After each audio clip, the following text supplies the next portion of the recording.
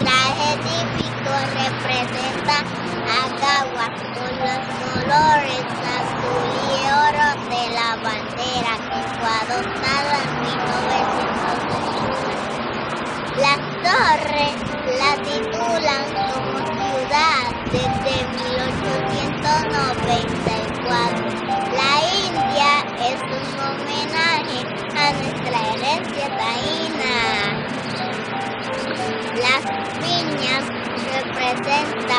Las siete entradas que tiene Caguas.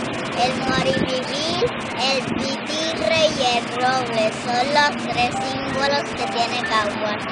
El morivivir representa la humanidad en sencillez de pueblo y sus espinas la defensa de nuestra identidad criolla.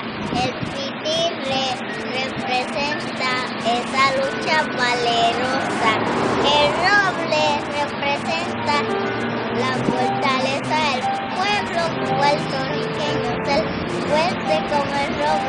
Roble, Caguas, ciudad criolla, centro y corazón de Puerto Rico.